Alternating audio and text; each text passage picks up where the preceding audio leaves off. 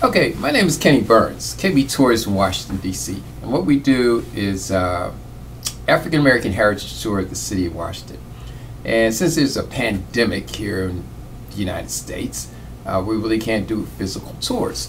So I was trying to decide what to do.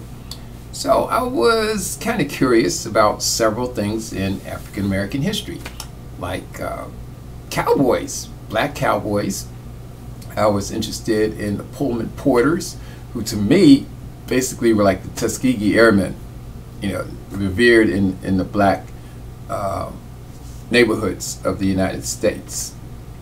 So I decided to use KB Tours uh, YouTube channel to do different videos. I'm trying to do like one or two videos every week and hopefully when this uh, pandemic ends, people come to Washington and we can give them a great African American heritage tour. Then the Pullman Porters were the men of the railroad.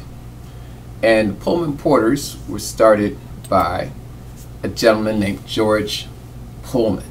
Now George Pullman uh, went to several railroads in the United States in the 1860s and he decided to have sleeping cars.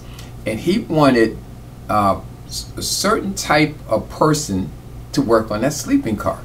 He wanted former slaves to work on the car.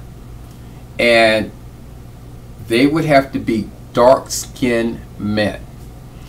That was uh, dark-skinned men because he figured that dark-skinned men wouldn't blend in with everybody else.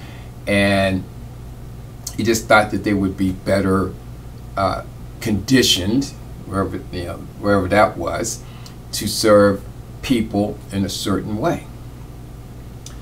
Now, Pullman was uh, entrepreneur, smart, uh, and the Pullman car worked. Now they had to create these uh, sleeping cars, you know, put sleeping berths in them, and uh, it took a little bit of work to do. Now these men were very special. They worked 400 hours a month, and they were they were the worst paid in on the railroad. Pullman porters made most of their money off of tips. Uh, many in the African American uh, community admired them because these men actually were very smart. Being a getting to be a Pullman porter was very hard to do. Most men who were Pullman porters stayed 20 to 40 years on the job. It was extremely rare that any of them got fired. And the one drawback of being a Pullman porter was people called you George. No matter your name could be David, and they would call you George after George Pullman. And the Pullman porters didn't like that too much. Matter of fact, later on in this story, we'll explain a little bit more about that. At one time, there was over 7,000 Pullman porters. Of the 7,609 were attendants. They would, you know, work in the um, sleeping cars, buffet lounges, club cars, and there's also 48 Pullman Pullman maids. Um, Pullman porters are always very neat. That's that's something that they did themselves. They um, had a very high uh, standard for themselves, which was great.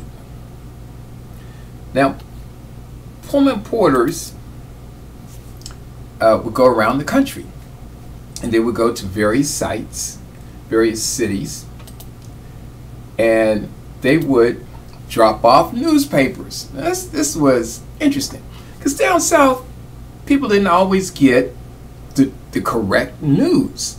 So Pullman porters would often take the Chicago Defender and the Pittsburgh Courier down south and just drop them at certain locations so people could pick them up and read them. Like, oh, wow. So this is what's going on. And also, they would uh, tell people about jazz and different types of um, uh, music. So it, it they were actually the, the physical green book of America, just like um, Victor Hugo Green wrote uh, the Green Book. Well, Pullman Porters actually were physical green books.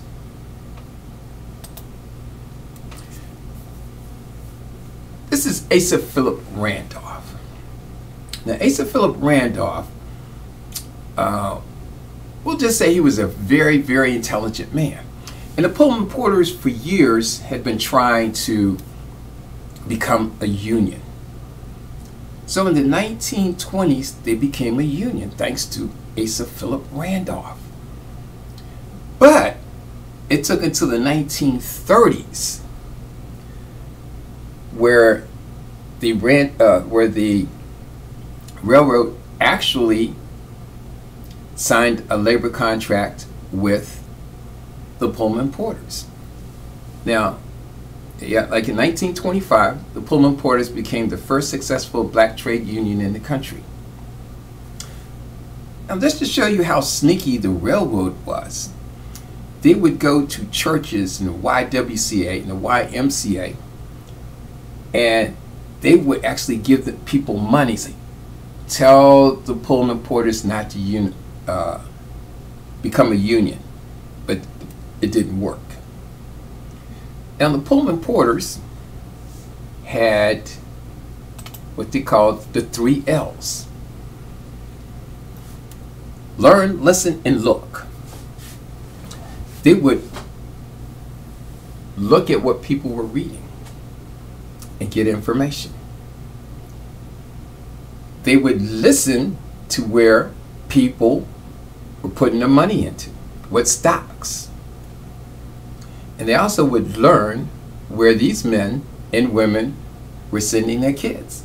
Because the Pullman Porters knew education was essential to the African American race if you wanted to get better.